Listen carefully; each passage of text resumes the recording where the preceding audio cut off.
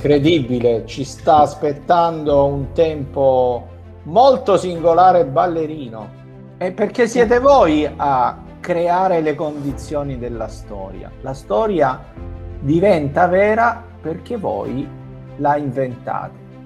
E inventare e trovare. Vediamo cosa succede oggi. I protagonisti, Ciaccione, il nonno e suo nipote Caroto, devono risolvere un grosso sbaglio commesso dal nonno. Ecco perché sono andati nel 2001 per mezzo di un loro strumento molto, molto particolare, costruito nel tempo, lo sappiamo, l'orologio del tempo, il corridoio del tempo che è la scala mobile di potenza. Il migliore modo per risolvere quel problema ci è sembrato che fosse stato innanzitutto incontrare il se stesso, il se stesso del passato. Così è accaduto nel 2001 con il nonno Ciaccione che ha incontrato se stesso più giovane, se stesso papà. Così è accaduto nel 2035 perché poi nel frattempo i bambini del 2001 sono finiti nel 2035 e tra quei bambini c'era la piccola mamma, la piccola nessuno tutto fare. La mamma adulta, mamma nessuno tutto fare, adulta è nella biblioteca del 2035 insieme a sua figlia Rebba, sorellina di Caroto. Le cose cominciano veramente a intrecciarsi, ma i vari pezzi li metteremo a posto. E anche lì, tra quei bambini del 2001 c'è una bambina che nessuno tutto fare. Anche lì avviene un incontro e un dialogo. L'errore che è accaduto per nonno Ciaccione, un po' per tutti i protagonisti, è nel tempo perduto. L'errore che può accadere e nel tempo a venire ed è sempre lo stesso errore, perdere il tempo, quello importante. Come farà nonno Ciaccione a mettere le cose a posto? Ciaccione e Caroto riusciranno a tornare indietro a casa loro, cioè avanti, nel loro tempo che è il 2035? E, e, e i ragazzini del 2001 che sono finiti nel 2035 torneranno al loro tempo? E, e come ci riusciranno? Chi, chi, che cosa li aiuterà?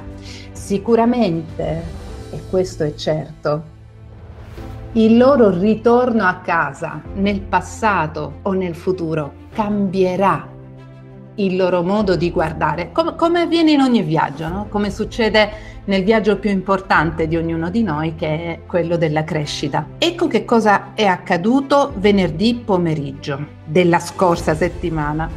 Siamo nella biblioteca del 2035. Mentre mamma, nessuno tutto fare, sta parlando con se stessa bambina, Reba, sua figlia, la, la sorella di Caroto, vede qualcosa che luccica. Mm? Qualcosa che luccica fra i libri c'è qualcosa che brilla.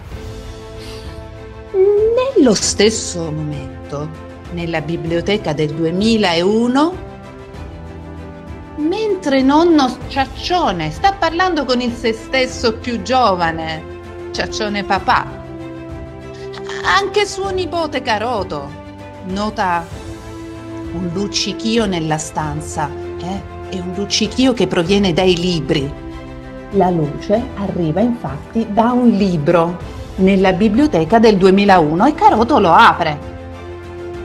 Sapete cosa trova? Nel libro c'è... C'è uno specchio? Sì. Nel libro c'è uno specchio, uno specchio custodito, custodito da un drago. Un raggio di luce mette in comunicazione due libri che si trovano in due spazi-tempo diversi, proprio come i due fratellini, Caroto e Reba, che sono in due tempi diversi, in due spazi uguali ma diversi, e si mettono in comunicazione attraverso un luccichio che proviene dai libri il libro nella biblioteca del 2035 inizia a luccicare, Rebba lo vede. I due fratelli Rebba e Caroto, pur in due dimensioni spazio-temporali differenti, riescono a entrare in comunicazione. Partiamo da qui e andiamo avanti. Ebbene, allora facciamo accadere la storia. La stiamo per fare diventare vera. E questa cosa non è mai successa da nessuna parte